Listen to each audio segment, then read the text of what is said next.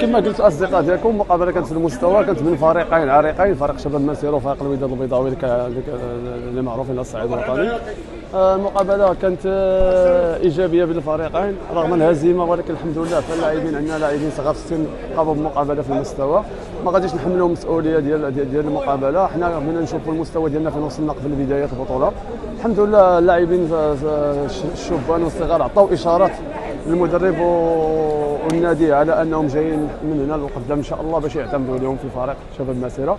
كنهني فريق الوداد البيضاوي. ملي كنهضروا على فريق الوداد البيضاوي. فريق كبير في المغرب. يعني لا مناقشة. لا تنسوا الاشتراك في قناة الأيام 24 وتفعيل خاصية الجرس ليصلكم كل جديد.